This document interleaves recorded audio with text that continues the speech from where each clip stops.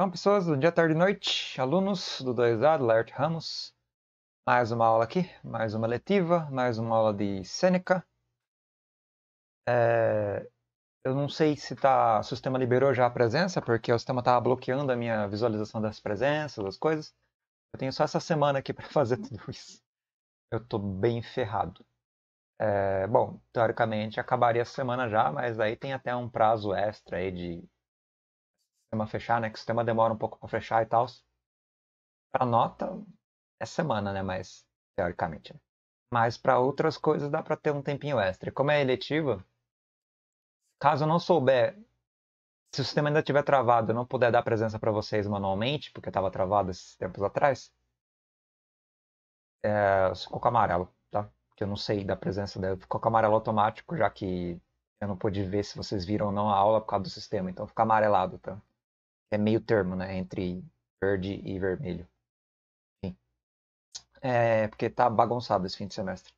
Como sempre, né? Fim de bimestre, semestre, tá tudo uma zona.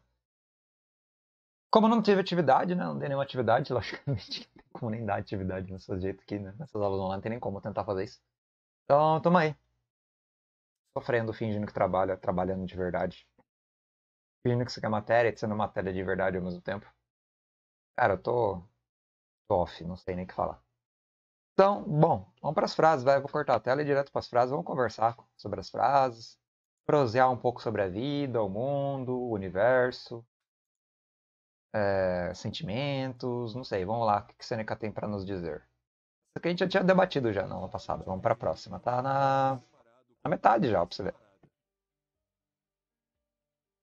Estamos um pouco acima da metade das frases. Daqui a pouco a gente termina. Depois que a gente terminar, eu vejo o que eu faço. O que eu vou fazer depois que eu terminar isso aqui. Uh, enfim. Primeira frase do dia. Vamos direto para trabalhar, porque eu tô, tô num dia ruim de novo, como sempre. A frase é a seguinte: Sofremos mais na imaginação do que na realidade. Eu gosto dessa frase, eu gosto porque ela é bem verossímil, né? Verossímil no sentido de ser real, ela é bem coerente com o nosso comportamento. Quando a gente pensa, por exemplo, é, em efetivar alguma coisa no futuro, essa coisa no futuro ela é sempre uma expectativa de que talvez aconteça, talvez não. Aliás, eu acho que eu já fiz essa frase. Dá uma olhada aqui, peraí. Quase certeza que já fiz. Certeza absoluta. Começa imediatamente, separada, blá blá blá, blá blá blá. Não, não tinha feito ainda não. Eu acho que não. Acho que não, mas enfim. Só conferindo aqui porque, né? Nunca você sabe. Mas vamos lá, se eu já fiz, faço de novo. Então, voltando aqui. Então, sofremos mais na imaginação do que na realidade.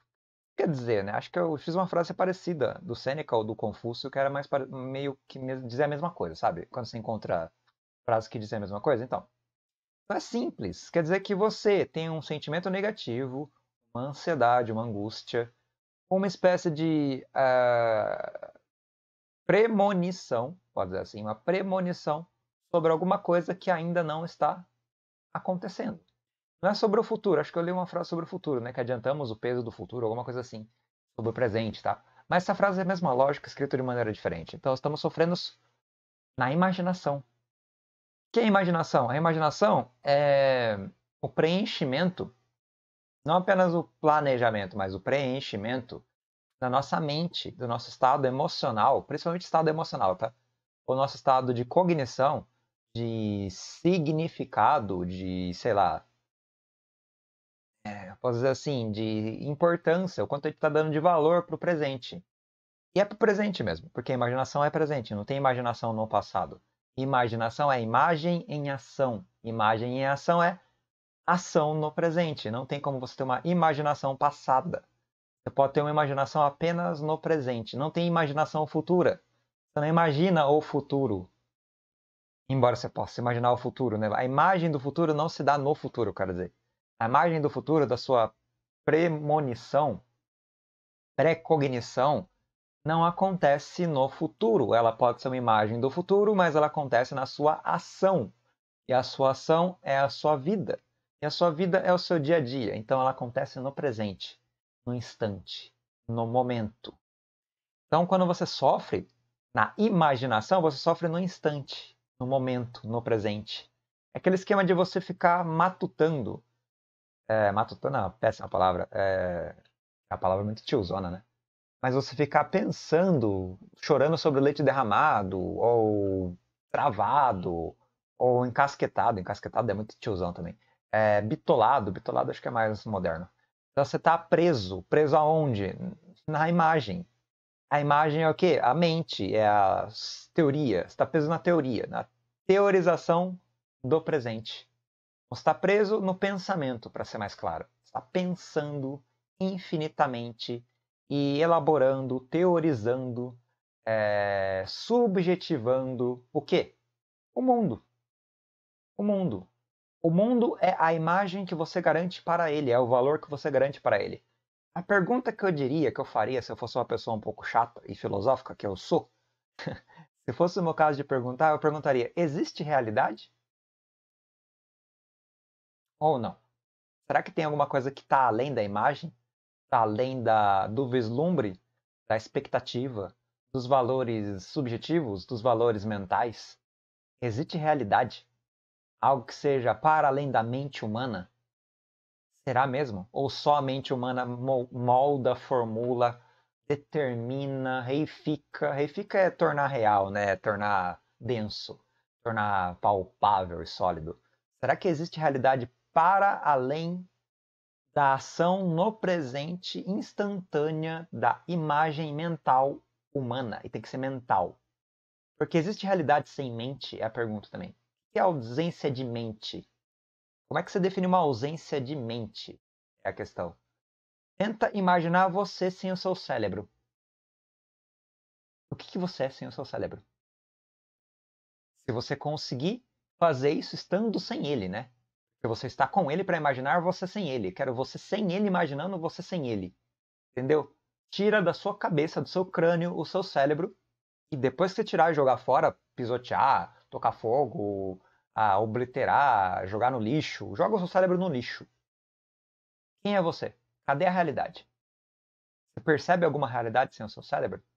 Ele está no seu corpo? Você está sentindo a realidade no corpo? A sua alma consegue experienciar o mundo de maneira criativa, com linguagem, com entendimento de mundo sem você ter o seu cérebro? Literalmente, tem que estar sem ele para pensar o mundo sem ele. E pensar o mundo sem ele é entender a realidade sem ele, literalmente. Consegue? Faz isso com um experimento com outra pessoa. Pergunta para um cadáver, já sem o cérebro, o que é realidade. Se ele te responder verbalmente, né, intelectualmente, quer dizer que, ok, a alma dele responde, o coração dele responde, o corpo dele responde. Mas e o cérebro? O cérebro não, não precisaria estar ali para responder nesse caso. Aí você pode pensar em realidade para além da imagem no presente, que é manifesta no que você entende por sistema nervoso central, que é literalmente o seu cérebro. Entendeu a lógica? Então, quando você pensa o que é real, você não pensa o que é real no mundo, você pensa o que é real na sua interpretação cognitiva, sensível, composta em linguagem pela sua mente, pelo plano imaginativo, pelo plano cognitivo, racional talvez. Mas onde está a racionalidade? Na ponta do dedo, na unha, no fio de cabelo, no olho ou no cérebro? Onde está a racionalidade? Coloca ali o rabo no burro, tá ligado com a brincadeira de pessoa vendo a pessoa, gira a pessoa, daí põe um negócio na mão dela, né, um rabinho, né, de, de pano assim, para ela colocar no burro. É que nem aquele esquema da melancia, né? Quando você vai na praia, naquele anime tem anime que você tem as melancias de praia, né? Você gira a pessoa, dá um bastão na mão dela e fala, acerta a melancia, vai guiando a pessoa para ela conseguir acertar a melancia. No rabinho do burro, que é uma brincadeira mexicana, se eu não me engano, é a mesma coisa. Você vai guiando a pessoa para a pessoa poder enfiar o rabinho no burro, que é onde o rabo do burro tem que ficar. Eu vi isso em algum filme, eu não tenho certeza, estou falando besteira aqui. Mas a lógica é essa. Vai lá. Vai lá. Onde está a sua razão? Em que parte do corpo ela está? Onde está a sua realidade? Em que parte do corpo ela está? Se você localizar a realidade no cérebro, na mente, na, na textura, textura imagética, textura cognitiva, textura racional. Você pode escolher a, palavra que você quiser dar para cognição, para autorreflexão, autoconhecimento, não sei. Ou mesmo consciência. Onde está a consciência? Coloca o rabinho do burro na consciência. Onde está a consciência? Vai lá, dá uma sorte, vai lá, manda ver. Entendeu? Então a lógica é: sofremos aonde? No mundo. E o mundo está onde? Na mente. Então sofremos no delírio, no Matrix, sofremos na ilusão, sofremos no holograma. Já ouviram falar do universo holograma? Alguns já devem ter ouvido falar, né? O universo é uma, é uma, uma simulação mental.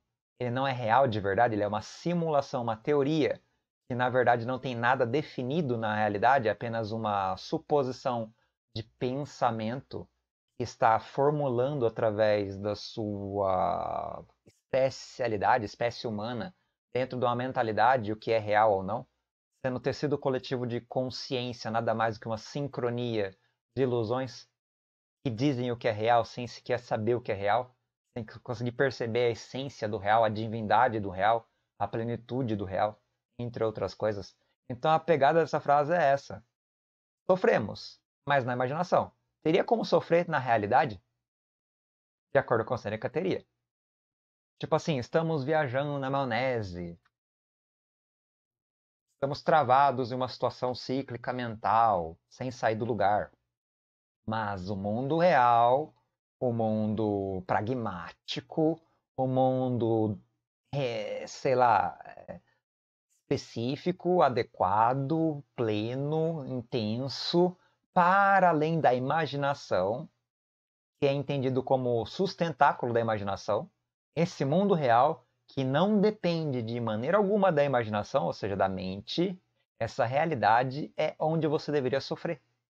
E ela não te causa sofrimento, porque o que te causa sofrimento é a sua psicologia. Então, ele está falando aqui de uma mentalidade que causa sofrimento, mas a realidade não é apreendida, não é, não é vislumbrada, não é percebida, você não consegue adentrar na realidade, porque você está vivendo na sua mente. E a sua mente é o mundo da imaginação, o mundo das ideias. Como aquele negócio de você ficar batutando, batutando é horrível, né? Matutando, é matutando, é batutando, é matutando. É você ficar parado, travadão. Enquanto, por exemplo, é, você poderia estar dando em cima da mina, se com. Se, se, como é que é a palavra? É, declarando se declarando para a pessoa, ou em vez de você se declarar, você fica girando em falso dentro da própria cabeça. Ai, se eu levar um fora, se eu levar um fora, se eu levar um fora, se eu levar um fora mil vezes. Você vive na imagem, você vive na imaginação. Então, a lógica dessa frase é uma lógica psicológica. É uma lógica psicológica dualista, porque ela vê além da mente, além da imaginação, além da, da, da psicologia, ela vê uma coisa mais densa, realizada, uma coisa sólida, uma coisa entendida como mundo. Então você tem o indivíduo e indivíduo no mundo, e o mundo é diferente do indivíduo. Então essa frase ela é dualista, extremamente dualista. Então ela tem ali um universo, esse universo é composto de duas segmentações. A segmentação mente, compreensão e imaginação, e a segmentação realidade, que é a própria matéria, que é o próprio a estrutura mecânica da existência, pode dizer assim. Então ela é segmentada nesses dois momentos. E a pergunta que eu sempre faço, e eu sou holista, vocês sabem disso, né? Holista, holista, lá com a pronúncia. Eu sou uma pessoa que não vi segmentações e fronteiras é, nesse, nesse grau de entendimento do universo. Eu vejo apenas uma soma de dois lados da mesma moeda, ou de duas moedas iguais, ou sei lá, você que escolhe aí dois, um lado da mesma moeda, faz, você escolhe qual a metáfora. Mas a imaginação e a realidade, para mim, não são distinguíveis. Eu não consigo distinguir uma da outra se a realidade é apreendida por mim, então ela é apreendida pela minha mente imaginativa. A mente imaginativa está mentalizando a realidade, então a realidade está sendo construída através da mente imaginativa. Então é via de mão dupla. Tanto a realidade é imaginação, quanto a imaginação é realidade. Aí você me pergunta, ah, então se eu imaginar um dragão, ele é real? É uma metáfora boa. Será que existem dragões? Você acabou de imaginar um dragão. Ele é real na sua mente, não é? Ele é real no sentimento, ele é real na sua cognição, ele é real na palavra dragão. Não, não tem um, uma, uma densidade, uma realidade física, ele tem uma realidade abstrata, pode dizer assim, mental. Só que vamos perguntar uma palavra que você conhece agora. Vamos lá. Em vez de dragão, eu vou falar cachorro. Cachorro está onde? Está no mundo ou está na mente? Como é que você consegue falar cachorro sem a mente? Como é que você consegue falar cachorro sem a abstração? Sem a teoria mental cognitiva? Fala aí. Tira o cérebro de novo, coloca na bandejinha do lado e fala cachorro, por favor. Você consegue sequer falar sem o seu cérebro? Se a sua estrutura mecânica específica, biológica, é entendida como computação de personalidade, computação de identidade e de subjetividade e também de é, cognição? Não apenas cognição, mas consciência também? Você consegue imaginar a sua consciência separada do corpo novamente? Tenta, tenta, por favor. Tudo bem ser uma soma, tá? O mundo e o corpo não têm uma fronteira só, eles são a mesma coisa. Aí eu até concordo. Mas se você falar, não, tudo bem, eu vou colocar meu cérebro na bandeja, eu vou falar a pronúncia cachorro, eu vou estar interagindo com o cachorro para além do conceito, o cachorro material e utópico, o cachorro denso, o cachorro imperfeito, o mundo das ideias dos cachorros. Esse cachorro ele é equivalente a um dragão. Por que ele é equivalente a um dragão, segundo essa teoria? Porque o dragão ele é uma imagem mental que corresponde a uma figura no mundo. Essa figura não está no mundo, mas o mundo é a própria imagem. Então, ele corresponde à imagem mental. E o cachorro? O cachorro também é uma figura metafórica que está no mundo. Ele não corresponde ao mundo, ele é uma imagem mental, é um conceito da linguagem. Se eu aponto o dedo e falo aquilo ali é um cachorro, ele é, se torna um cachorro. Se eu apontar o dedo e falar aquilo ali é um dragão, ele se torna um dragão. Se eu apontar o dedo e falar aquilo ali é um unicórnio, ele se torna um unicórnio. Então a realidade não está na natureza, a realidade não está no exterior, ela está na minha suposição racional de conhecimento que define a verdade abstratamente sobre o mundo que eu digo que é mundo. Então, o dragão, na minha mente, é uma correspondência de energias mentais.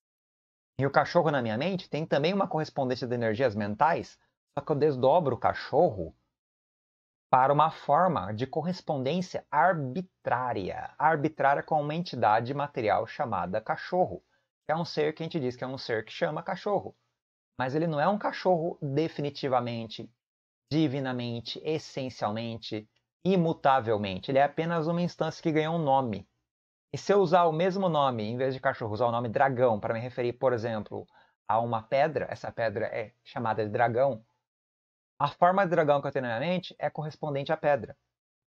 Aí eu vou ter um dragão de 20 quilates. É a pedra roseada, parecido com um rubi, mas não é um rubi, que é o meu dragão de 20 quilates. Isso é um dragão na minha realidade. Se eu ter um desenho, um livro, um desenho de um dragão no livro, que aí é um dragão clássico mesmo de RPG medieval, e eu aponto o dedo, isso aqui é um dragão, então aquele imagem, aquele desenho é um dragão. Se eu aponto no livro, isso aqui é um cachorro, aquela imagem, aquele desenho é um cachorro. Eu aponto na realidade para um bicho que ele chama ele de cachorro, aquilo lá é um cachorro. Mas ele é um cachorro porque eu estou apontando para ele dizendo que ele tem um nome e esse conceito vai ser alocado 100% de maneira completamente alienada. É, ela faz um anacronismo, anacronismo intelectual e ela força o cachorro a ser cachorro. Assim como ela força o desenho de cachorro a ser um desenho de cachorro. Assim como ela força a imagem de dragão a ser um dragão. Assim como ela força o dragão na sua mente a ser um dragão na sua mente. Então, o dragão na sua mente e o dragão na realidade não são distinguíveis. Não são distinguíveis. Se você vê um dragão na realidade em delírio, ou em algum tipo de, de, de sei lá, é, alocação do conceito dragão em um outro objeto, como uma pedra preciosa, como um dragão de Komodo. Um dragão de Komodo é um lagarto. Um lagarto da Austrália, se não me engano. E é venenoso e tal. Ou você vê um dragão como se fosse um dragonfly. Que é um dragonfly? É uma libélula, chamado de dragonfly, dragão voador. É, em inglês é dragonfly, que é uma libélula. Em português a gente chama de libélula mas é um dragão. Não um dragão medieval clássico com asas que gospe fogo e tal, mas é um, é um, é um dragonfly. É uma libélula. Pode pesquisar no Google aí, dragonfly. Você vai achar. Entendeu? Então é assim. A linguagem ela corresponde a nomear a realidade e a realidade ela fica fixada na linguagem. Então, do ponto de fuga cognitivo, é o ponto de fuga da imagem. E o ponto de fuga da imagem é o ponto de fuga que define o que é real. Se a imagem define o que é real, como sofreríamos na realidade se a gente só consegue sofrer na mente? E é esse o preceito budista de falar que a superação, né, a iluminação é particular e mental. Você tem que ter um mindset, uma, é, então não, mindfulness, mindfulness, uma análise mental para você descobrir os processos mentais que significam a realidade e definem o sofrimento. Porque a mente define o sofrimento. Não é a realidade que define o sofrimento, é a gente que escolhe o sofrimento. Escolhe que a nossa realidade mental e corpórea é o sofrimento. Sofrimento não é uma essência que impregna na gente, a gente cria ele do zero. E quando a gente controla o sofrimento, a gente consegue o quê? Se despertar, pacificar, iluminar. E nesse sentido, se desapegar da realidade, se desapegar das coisas materiais também, se desapegar da existência é, ilusória, literalmente ilusória. Isso é uma pegada budista pra caramba, assim. Mas lógico, Sêneca não era budista, né? Mas então essa frase dá um pano para debate, cara. Essa frase é fenomenal, cara. Porque tem que descobrir onde está a realidade. Se você quer descobrir o que é imaginação e o que é realidade, você tem que descobrir onde está a realidade, se a realidade é real de verdade. Se a imaginação é imaginativa de verdade. Você pode questionar isso também. Que é imaginação? O que é essa é, ação imagética? Ação conceitual, ação subjetiva, ação abstrata que você age ao, sei lá, existir no mundo. Você existe no mundo ao ser imaginativo. Ao imaginar o mundo, você existe no mundo. Então é um puta de um debate, cara. Isso vai longe, mas muito, muito, muito longe. É absurdamente interessante. Assim, surrealmente interessante. Lindamente interessante. É magnífico, literalmente. Só dá um tempo que eu quero ver uma coisa, eu vou cortar a gravação de tela rapidinho. Já volto, já, pessoas. Mas enfim, é magnificamente interessante isso aí. É fenomenal, cara. Fenomenal. Realmente muito, muito, muito legal. Muito legal de pensar nesses métodos, nessas teorias, nessas coisas. E é, já sei o que fazer aqui. Então tá. Uh, voltando aqui para a frase. Vou voltar aqui a compartilhar a tela. Então essa frase é linda, cara. Linda por causa dá, um, dá uma possibilidade de reflexão que vai longe. Se você questiona a realidade, você questiona exatamente tudo, cara. Se você questiona a imaginação, você questiona também exatamente tudo, porque tudo é imaginativo. Então, você está questionando a própria possibilidade de ser racional, a própria possibilidade de imaginar coisas. A imaginação está onde também? Ela está no mundo ou ela está apenas na, na, na energia? O que é energia? O que é fronteira? O que é identidade? Como te define a, os espaços preenchidos da realidade? Que é a realidade imaginativa, né? Como te preenche esses espaços? Será que é possível, pensando que a composição de um átomo é 99% de vazio, você preencher a existência? Se o átomo tem 99% de vazio, tudo que te compõe é átomo, isso vai dar mais ou menos 99% de vazio no corpo inteiro do ser humano, talvez 98%, vai só para brincar um pouco. Seu corpo é 98% de vazio. Aquilo que não é vazio, o que, que é? Essa é a questão. Porque átomo é espaço vazio. O que está dentro do vazio, eu não sei. Os cientistas podem dizer. É antimatéria? É energia escura? É matéria escura? É neutrino? É... O neutrino tem no átomo nêutrons, né? É o que, que diabos é aquilo que está dentro a eletrosfera e o núcleo atômico? Esse espaço energético de fluxo. E aqui está a ponta, não tem espaço vazio nenhum. É que o espaço não pode ser formalizado em uma identidade. Peraí, pessoas, bateram a campanha aqui, já volto. Dois minutos.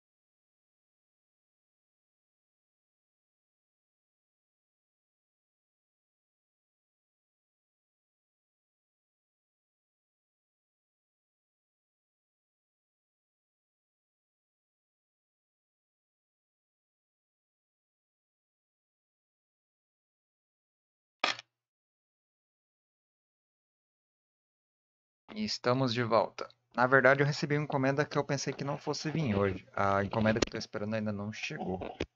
Essa aqui eu pensei que nem fosse vir mais, mas acabou vindo. Era uma encomenda que estava atrasada. Eu pensei que ia dar problema e ia ter que conversar com o vendedor. Mas é que eu estava esperando ainda não chegou. Então talvez apareça outro, outro entregador aí, mas não tenho certeza. Peguei a encomenda, entre aspas, inesperada. Mas eu tava falando, não? Não, não lembro o que eu tava falando, óbvio que eu não lembro o que eu tava falando. Mas então, é, só para finalizar aqui para a próxima. Então, a gente sofre mais na imagem e sempre naquela expectativa é, de criação de realidade completamente mental. Lembrando, não sabemos o que é imagem, não sabemos o que é realidade, não sabemos o que é denso na realidade. Lembrei que está falando de átomos também, né? Não sabemos o que é essencial na realidade. Lembrando que é, energia é um fluxo e fluxo ele tem, ele preenche todos os espaços da vida, todos os espaços da existência.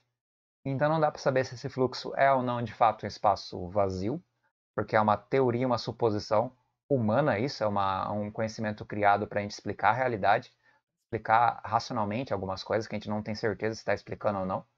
O que dá, nesse sentido, em uma completa teoria arbitrária, arbitrária e alienante. Alienante no sentido de completamente delirante. Está delirando um conhecimento. Delirar um conhecimento não é conhecer, é delirar mesmo. Então, isso é interessante nessa frase também. A frase que dá muito, mas muito, mas muito problema, muito pano para manga. E dá para fazer várias coisas com ela. E pensar infinitamente essa frase, porque a gente nunca vai saber onde está a imagem, onde está a realidade e o que é o sofrimento de verdade. Gente não consegue definir sofrimento. Sofrimento é mal-estar. Sofrimento está onde? Está no indivíduo, está no mundo. Sofrimento está em que parte? O que é sofrer? Entendeu? É sentir dor? Por quê? Sentir prazer não é, não é sofrimento, mas também é uma intensidade corpórea. Para gente, o prazer é doloroso. Para outras pessoas, a dor é, não é prazerosa. Não é sofrimento de verdade. Tem gente que gosta de um, de uma, um desafio mental. Eu gosto muito do desafio mental. Tudo que eu faço, mentalmente falando, intelectualmente falando, não é um sofrimento para mim, mas para outras pessoas pode ser um inferno em vida. Para você que está ouvindo isso aqui, pode ser um inferno em vida ouvir isso aqui. Para mim, não. Para mim é muito legal. Muito divertido mesmo fazer o que eu faço. Mas para outras pessoas pode ser que elas odeiem o que eu estou fazendo. Porque elas estão sofrendo. Sofrendo por quê? Não sei. Depende da fé delas, do dogma, das coisas que estão sendo abaladas, nas estruturas corpóreas ou mentais ou psicológicas que estão sendo refutadas ou entre aspas, pode ser que seja refutada, mas é, incomodadas, é, cutucadas, é, mexidas. É uma coisa que causa desconforto, né? E se causa desconforto, vira sofrimento. Então tem isso também, entre inúmeras outras coisas, cara. Essa frase é fodástica. Frase é fodástica. Mas vamos para frente, vai. Para frente. Lembrando que a frase tem um teor dualista e que a psicologia é uma coisa que está vigente nela, internamente vigente nela, onde, é, como posso dizer, ele, o Seneca pensa que de fato existe algo denso e real para além da mente humana, e a mente humana é apenas delirante, sofre sozinha e está vagando no vácuo da dor e tal, mas que a realidade ela não é. A gente vive muito mais no mundo da imaginação, no mundo da nossa suposição, da nossa, como eu falei lá no começo, premonição, prever o futuro, prever a dor, sofrer internamente no presente, né, na, na, ou mesmo na expectativa, em vez de ter uma dor real. Assim, a dor ela é sempre um engano, um auto-engano, um engano dentro da mente, não um engano na realidade. Como aquele esquema de você ficar supondo que vai levar um fora, nunca de fato dá em cima da garota, e aí por um milagre ou algum momento você acaba falando isso para ela e acaba descobrindo que não levou um fora porcaria nenhuma. Uh, mas o, o, sofrimento do passado ele era justificado porque você estava vivendo na imaginação e o não sofrimento do presente, nesse caso aqui de você ter recebido um positivo, né, e tá com a garota, não é um sofrimento do, do passado, é um bem-estar no presente. Então a sua imaginação é você estar ao lado da garota agora, só que não em sofrimento. Você está agindo, estando ao lado da garota no presente, sem ter imaginações, expectativas de um fora imagético, mas sim uma, um delírio, uma cognição, uma realidade, entre aspas, presentista realizada através da sua corporeidade de ação. E a sua corporeidade de ação é uma corporeidade que vai junto à mente. E a mente é o que? Imagem. E a imagem e a ação correspondem então a você estar vinculado afetivamente, sem levar fora, nesse caso, nesse exemplo, e contemplando um relacionamento. Contemplando, literalmente contemplando, não vivenciando, contemplando um relacionamento que você estava contemplando anteriormente como um fracasso e um não relacionamento. Então, quando você fica imaginando que vai levar um fora, você está contemplando uma ausência de relacionamento.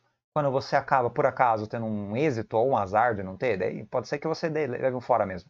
Mas se você tiver um êxito ali, você está contemplando agora sim, nesse instante, nesse momento que está relacionando-se com ela, sem a suposição, mas sim em fato, aí a contemplação a contemplação da sua cognição no mundo ao estar ao lado da pessoa.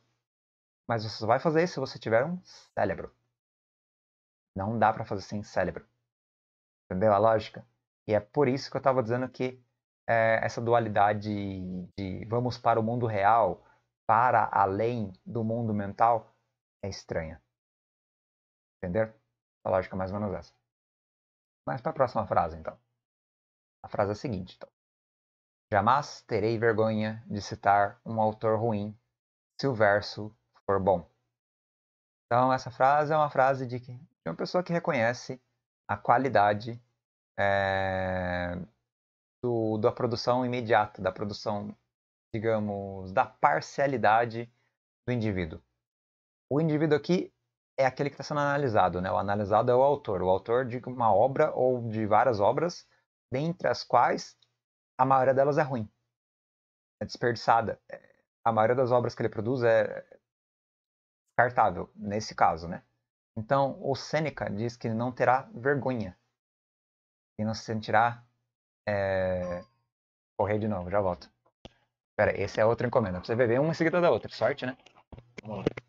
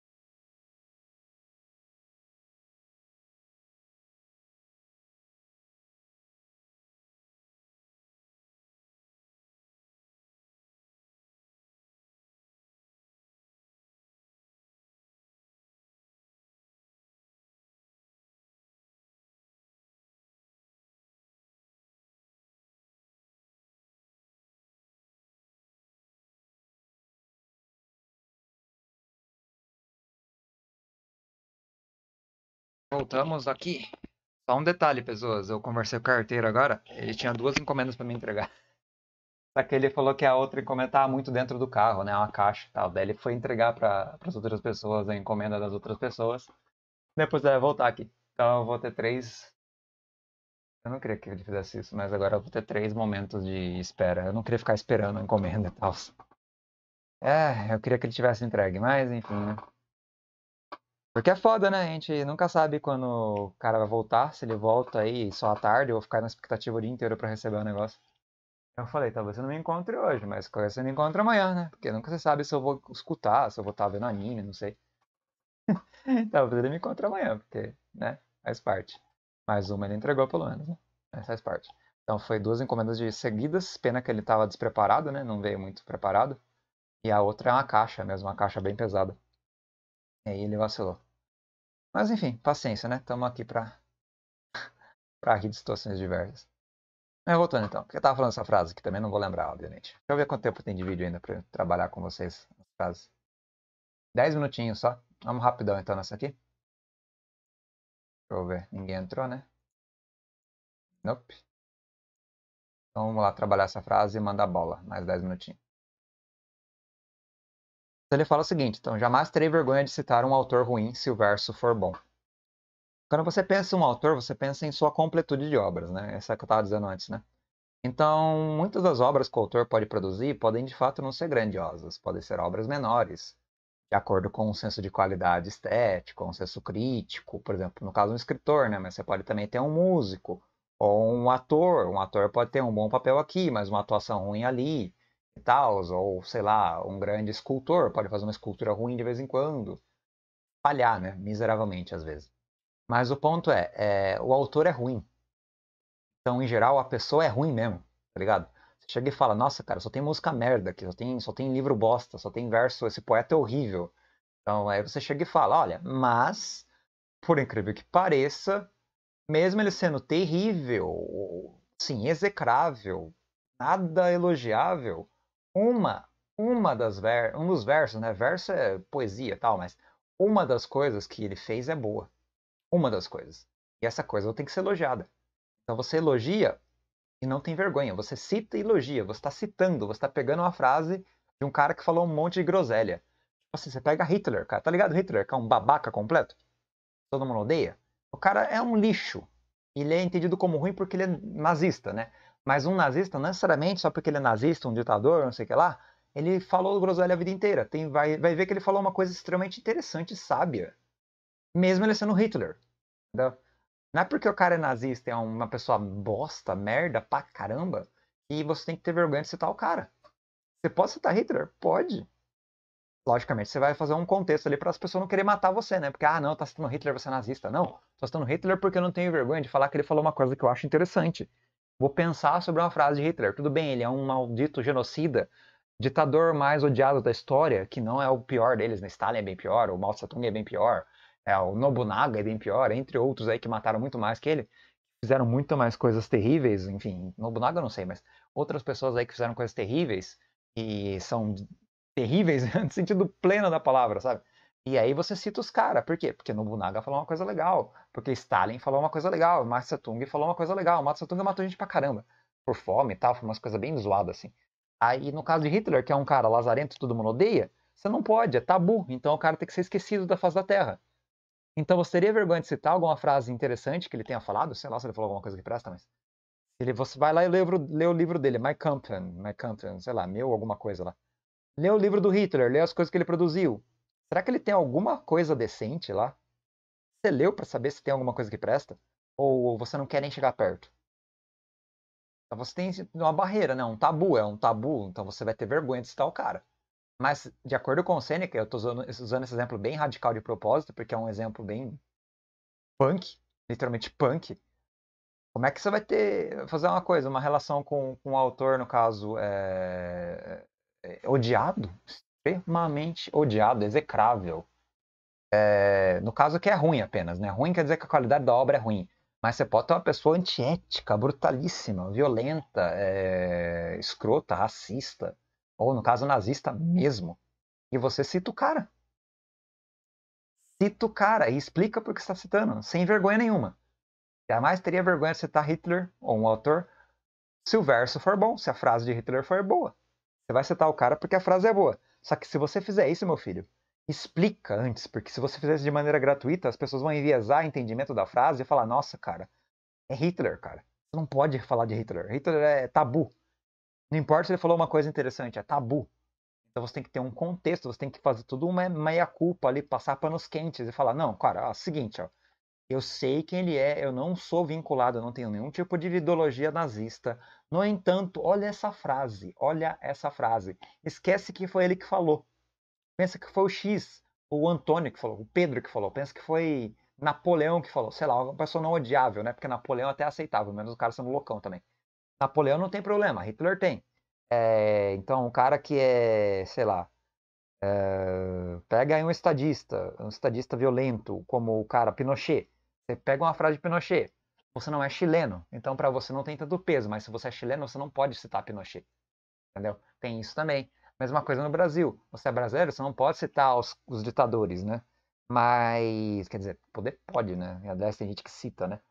Mas para um estrangeiro não tem o mesmo peso social, o mesmo peso histórico, o mesmo peso.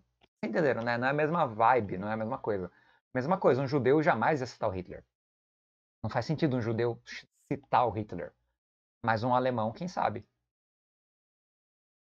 Se ele for nazista, no caso. Ou um, um sei lá. Hitler é realmente um termo, uma coisa muito, muito tabu, cara, muito tabu.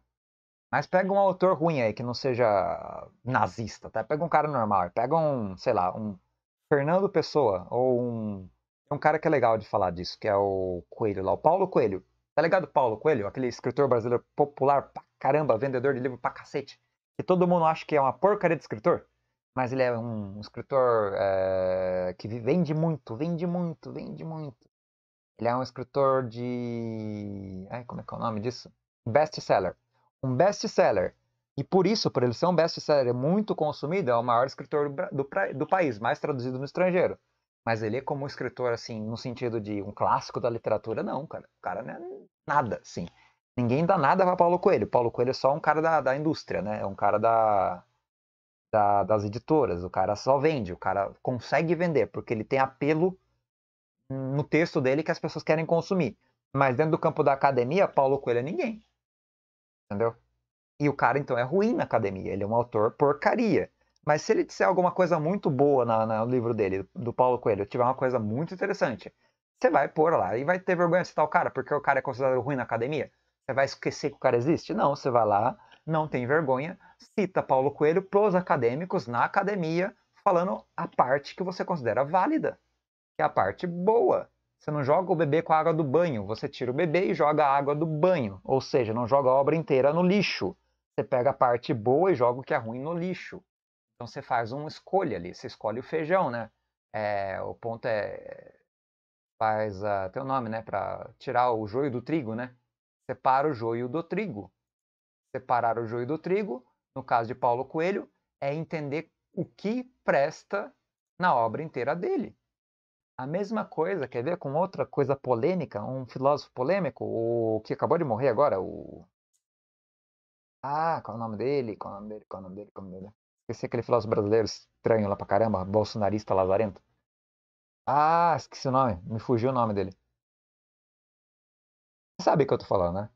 É o cara que morreu agora há pouco. É que vocês não vão, não vão manjar também, caramba, esqueci o nome do cara. Ah, qual que é o nome? Filósofo brasileiro famoso. Cara, me deu um branco violento, cara. Vou procurar no Google.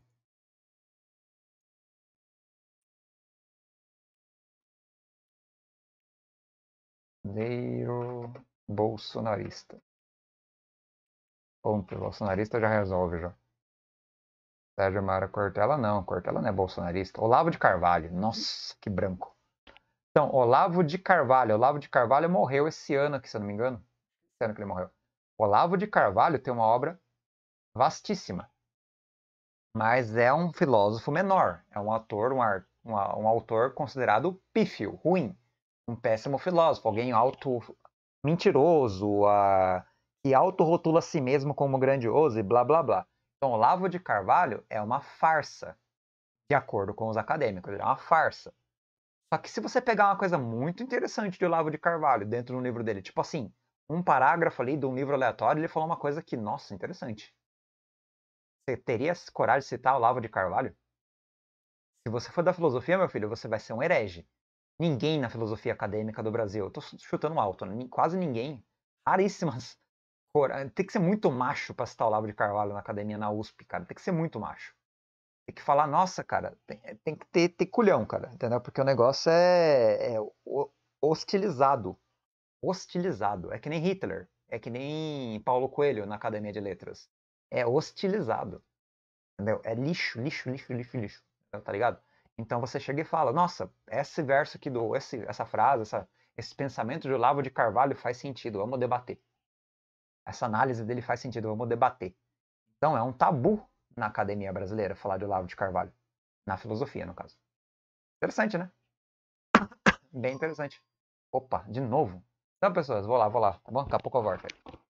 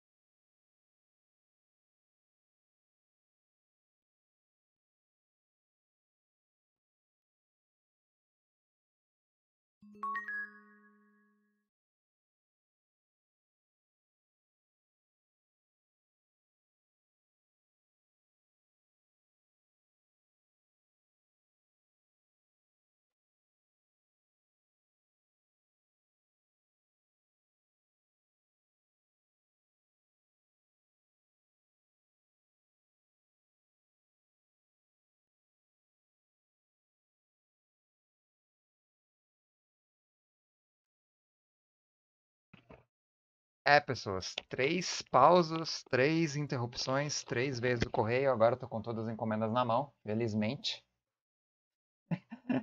Hoje o dia foi foda. Três aula pausada três vezes por causa disso. Surreal, hein? Surreal. Que bom, ele voltou rápido, ele deu um bate-volta na mulher ali em cima. Ele já achou a caixa lá. Aquela caixa era mais pesada, ela tava mais pro meio, então ele tava com pressa, mas. Ele achou lá direitinho a caixa e voltou já.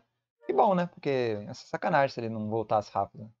Ele só foi, deu um bate-volta, pegou a caixa, trouxe pra frente e bateu aqui na campainha e já era. Entregou. Então acabou minhas encomendas do dia. Tô feliz, recebi todas.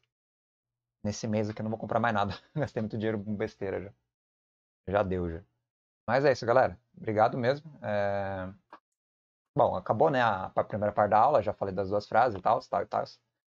Umas coisas polêmicas e tal. Agora é do dobramento, né? Então eu vou na segunda metade eu vou abrir as caixas. Enquanto vocês ficam olhando pra, pra, pra parede aí, tá? Mas eu tô aqui, tá? Coisa manda mensagem, beleza? Mas uh, eu vou abrir as caixas. Tem que conferir os produtos, né? Ver se não tem nada errado, né? Poxa. Mas é isso aí, pessoas. Obrigadão e até a próxima, beleza? Falou, usa aí. Oh, caramba. Aí, foi. 5, 4, 3, 2, 1. Falou, galera. Obrigado também, pessoal do BS, é, pela presença, quem ficou aqui nessa, nesse dia tortuoso com, comigo. Grato por qualquer coisa, desculpa qualquer coisa também. Isso aí, pessoas, até breve. Daqui a pouco eu volto com 2B, com Confúcio, né? Mas é isso aí. Valeu, pessoas.